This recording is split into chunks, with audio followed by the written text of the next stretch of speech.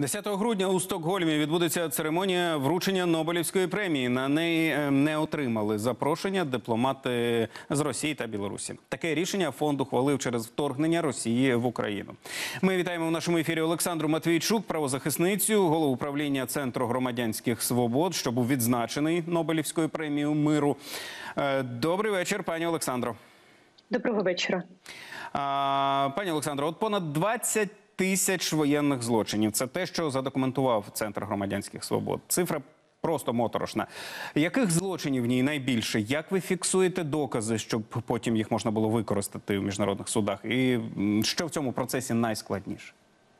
Спільно з Харківською правозахисною групою, Українською гельсінською спілкою і ще е, десятками регіональних організацій ми створили ініціативу Трибунал для Путіна.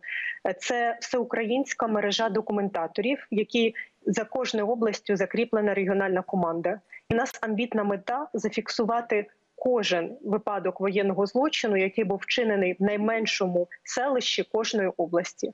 От за вісім місяців е, російського повномасштабного вторгнення ми спільно задокументували понад 21 тисячу епізодів, і це дуже різні воєнні злочини. Це умисні знищення житлових будинків, шкіл, садочків. Церков, е, шпиталів, це обстріли евакуаційних коридорів, гуманітарної допомоги, це викрадення, катування, зґвалтування і вбивства цивільних. Це все за що російські війська, а також топ-командування е, і очільники Російської Федерації, так само і Білорусі, е, будуть нести відповідальність. Е, Ну, зрозуміло, що ваша робота це передусім спілкування зі свідками, з жертвами рашистів. Що на вашу думку необхідно цим людям, щоб не втратити віру в людей, здоровий глузд, здатність жити взагалі? Я працюю безпосередньо з людьми вже 8 років. е, спеціалізуюся на, е, на, на таких видах злочинів, як е, викрадення, сексуальне насильство і катування людей в полоні. І я точно знаю, що люди, які пережили пекло, їм потрібно відновлення не тільки зруйнованого життя, здоров'я, е, родини, бачення майбутнього. Їм потрібно відновлення віри, що справедливість можлива, бодай відкладена в часі. Саме тому я сьогодні у Франції і вчора зустрічалася з президентом Макроном і говорила про необхідність створення міжнародного трибуналу, щоб притягнути до відповідальності Путіна, Лукашенка та інших російських воєнних злочинців.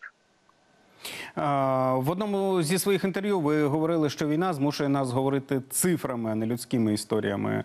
І ви вбачаєте завдання свого центру саме у тому, щоб повернути кожній з цих, так би мовити, цифр імена. Як вам це вдається? Ми живемо в 21 столітті. і Настав час змінити усталений підхід до е, правосуддя за воєнні злочини.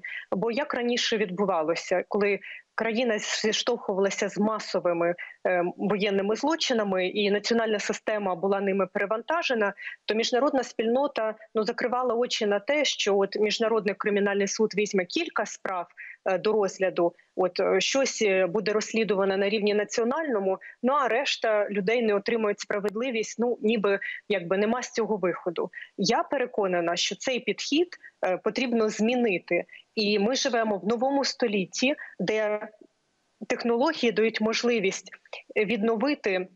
Картину подій і визначити навіть по відкритим джерелам е, ідентифікувати винних. От ми маємо так само розвинути систему міжнародної кримінальної юстиції. Ну, от я вже казав, що 10 грудня церемонія вручення Нобелівської премії. Е, Розкажіть, будь ласка, як ви плануєте використати цей майданчик? Ми зробимо все, щоб площадка премії миру дала можливість нашому голосу звучати гучніше, і насамперед е, для теми правосуддя, а також для теми, над якою ми працюємо всі вісім років. Це звільнення усіх військових і цивільних із російського полону. У нас вже роками є люди, які знаходяться в російському полоні. Е, Це і кримчани, наприклад, мій колега, е, правозахисник е, кримський татарин Сервер Мустафаєв, і люди на окупованих територіях, які не були звільнені за мінськими домовленостями. А зараз, після повномасштабного вторгнення, їхня кількість росла в рази. І от звільнення їх має стати нашим пріоритетом як країни, і ми цього точно доб'ємося. А розкажіть, будь ласка, більше, як вам допомагає міжнародна спільнота? Це розслідування, це робота зі свідками, фінансування. Е, Як саме? Ми говоримо з міжнародною спільнотою про те, що нам потрібна допомога на місці. От я приведу приклад.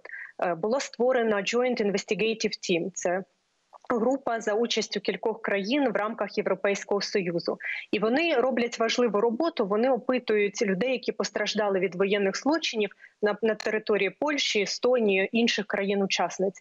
Але нам треба, щоб вони приїхали і робили цю роботу на місці вчинення злочину, щоб вони працювали разом з нами в Україні, е, там, де величезна кількість свідків і людей, які постраждали безпосередньо.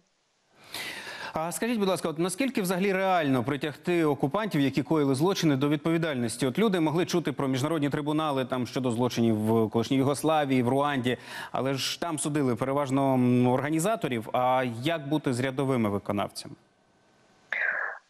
Ми віримо, що життя кожної людини має значення, і тому справедливість має бути для всіх, е, і незалежно від типу злочину, соціальної позиції людини або е, того, чи медіа взагалі зацікавлено в кейсі е, і, і в цій історії. І тому нам потрібна комплексна стратегія правосуддя. Ми маємо спільно з міжнародною спільнотою розробити, як посилити спроможність міжнародного кримінального суду, як е, посилити спроможність національної системи, е, як використати у- механізми універсальної юрисдикції, які дозволяють країнам відкривати справи в межах своїх національних правових систем, і як створити нові. Додаткові міжнародні інструменти, щоб ось цю прогалину відповідальності закрити, наприклад, міжнародний трибунал, про який я говорила раніше. Ну, ви часто спілкуєтеся з іноземцями, доносите позицію України. А чи бачите ви розуміння, що у, у, вони теж вважають, що винні в цій війні мають бути покарані на міжнародному рівні? Скажу чесно, от коли я вперше виїхала з Києва після повномасштабного вторгнення у травні цього року, я відвідала шість країн, і говорила з з політиками на вищих щаблях, і з журналістами, і з аналітичними центрами. Я не побачила у них запиту на справедливість. Я побачила запит на мир, але він неможливий у нашій частині світу без справедливості, тому що росіяни вчиняли злочини десятиліттями і вирішили, що вони можуть робити все, що вони хочуть. І зараз Нобелівська премія миру дасть нам можливість поставити питання справедливості вже на міжнародному рівні з позиції лауреатів Нобелівської премії миру. Пані Олександро, зараз Україна говорить з міжнародними партнерами про проєкт спеціального міжнародного трибуналу щодо злочину агресії проти України.